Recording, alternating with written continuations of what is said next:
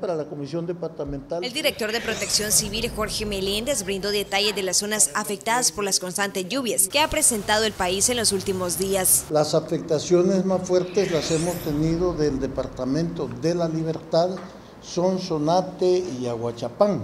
No obstante, tuvimos lluvias muy fuertes en Chalatenango, en Morazán y La Unión. La alerta en el país continuará. Por esta razón, la carretera litoral se mantendrá cerrada en horas de la noche como manera preventiva. El director de Protección Civil también habló de cuántas personas se han atendido, viviendas afectadas y albergues habilitados en todo el país. Han tenido cuatro personas lesionadas, 626 personas albergadas, seis personas eh, autoevacuadas, 13 albergues activos, cuatro carreteras anegadas.